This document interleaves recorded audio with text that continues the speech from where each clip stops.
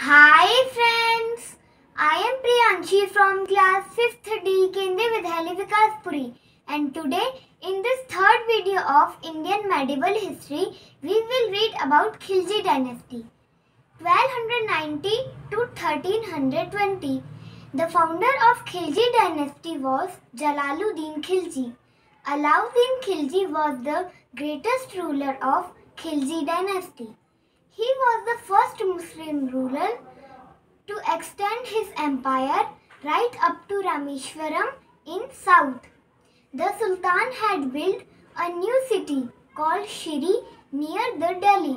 Amir Khusro, the great Persian poet, patronized by Balban, continued to live in Alauddin Khilji's court.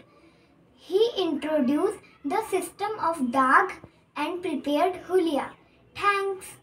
If you like this video, please like, share and subscribe our channel Education Studies for Kids.